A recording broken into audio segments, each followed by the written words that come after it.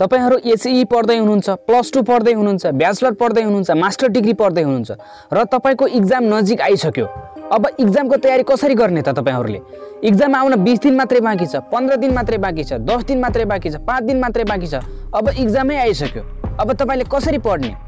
जब तपाईँको रुटिन आउँछ रुटिन आइसके पछाडि तपाईँहरूले चाहिँ यी टिप्स ट्रिकहरू फलो गर्नुभयो भने तपाईँहरूले मजाले तपाईँले ए प्लस ल्याउन सक्नुहुन्छ पास हुन सक्नुहुन्छ। त्यो रहेको छ। म आज तपाईँहरूलाई दसवटा ट्रिकहरू बजाउने छु र भिडियोलाई कति पनि स्किप नगरेर अन्तिमसम्म हेर्नुहोला र बुझ्ने प्रयास गर्नुहोला। त्यसै गरी पहिलो टिप्स रहेको छ रुटिन बनाएर पढ्ने।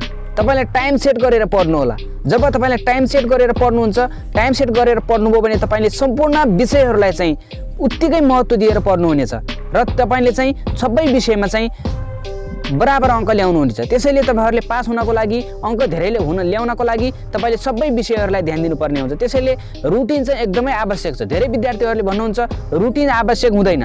जतिखेर मन लाग्यो त्यतिखेर पढ्ने। त्यसो गर्नुभयो भने तपाईँले एउटा विषयलाई धेरै टाइम दिनुहुन्छ। त्यसपछि तपाईँको चाहिँ इक्जाम नजिक आइसक्छ। त्यस त्यतिखेर खेरसम्म तपाईँको टाइम गइसकेको हुन्छ। त्यसपछि तपाईँले पढ्न पाउनुहुन्न। त्यसै गरेर त तपाईँले त्यही विषयमा सजिलो भनेको विषयमा तपाईँ फेल हुनुहुन्छ। त्यसैले तपाईँहरूले टाइम सेट गरेर रुटिन बनाएर पढ्नुपर्ने हुन्छ।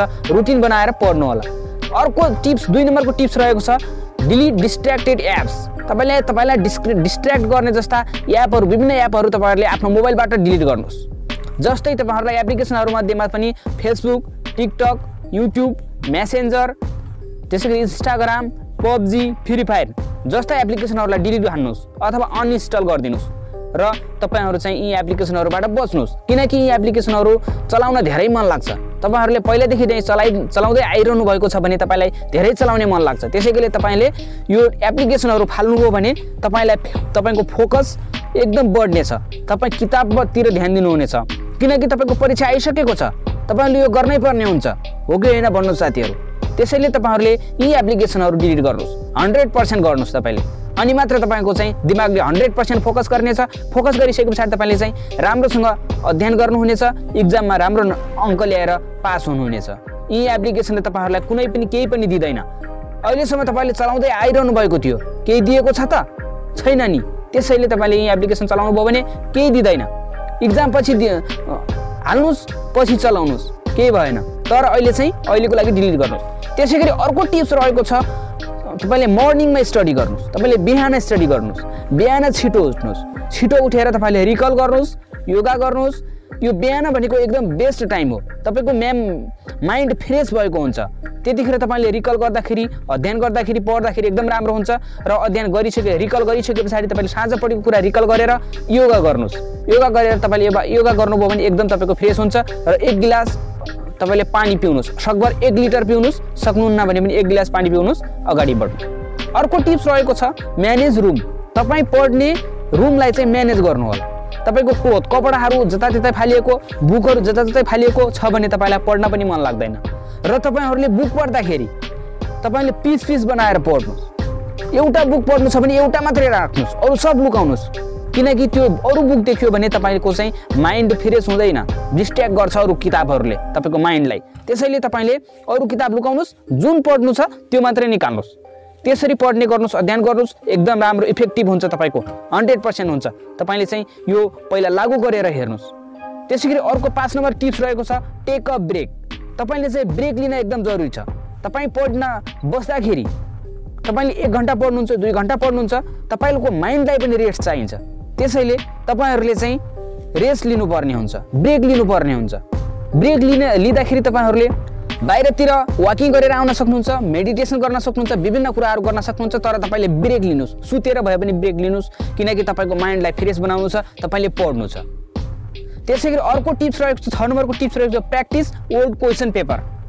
Old question पेपरलाई तपाईँले प्र्याक्टिस गर्नुपर्ने हुन्छ। ओल्ड क्वेसन पेपर प्र्याक्टिस गर्नुभयो भने तपाईँको क्वेसनहरू कस्तो आउँछ भन्ने तपाईँलाई चाहिँ एकदम थाहा हुन्छ। त्यतिखेर तपाईँले त्यसरी गर्नुपर्ने हुन्छ। मेरो कुरा गर्दाखेरि जब हामीले मैले चाहिँ प्लस टू पढ्थेँ साइन्स प्लस टू साइन्स पढ्दाखेरि चाहिँ त्यतिखेर old is old is gold त्यति पढिँदैन्थ्यो। सरहरूले चाहिँ नोटहरू लेखिदिनुहुन्थ्यो त्यही नोटहरू पढिन्थ्यो बढी। त्यसैले तपाईँहरूले चाहिँ ओल्ड ओल्ड इज गोल्ड एकदम आवश्यक पर्छ। बट तर अहिले चाहिँ मैले चाहिँ जब ब्याचलर पढ्दाखेरि मैले ओल्ड इज गोल्ड एकदम प्रयोग गरेँ। Bachelor of business administration BBA पढ्दाखेरि मैले ओल्ड इज गोल्डको एकदम धेरै प्रयोग गरेँ। र ओल्ड इज गोल्डबाट त धेरै सहज हुने भयो। जस्तो प्लस टूमा नम्बर आएको थियो त्योभन्दा राम्रो चाहिँ ब्याचलरमा ल्याउन सकियो। ब्याचलर अफ बिजनेस एडमिनिस्ट्रेसन बिबिएमा ल्याउन सकियो। त्यसैले तपाईँले जुनसुकै विषय पढ्नु पढ्दै हुनुहुन्छ म्यानेजमेन्ट होस् या साइन्स होस् ह्युमेनिटी एजुकेसन जुनसुकै होस् तपाईँले त्यो अनुसार पढ्नुहोस्। तपाईँले लोकसेवा पढ्दै हुनुहुन्छ भने तपाईँले यो ट्रिक्स फलो गर्नु होला त्यसै गरी अर्को टिप्स रहेको छ सात नम्बरको टिप्स भिजुअलाइजेसन रिकल अथवा रिभिजन तपाईँले भिजुअलाइजेसन गर्नुपर्ने हुन्छ।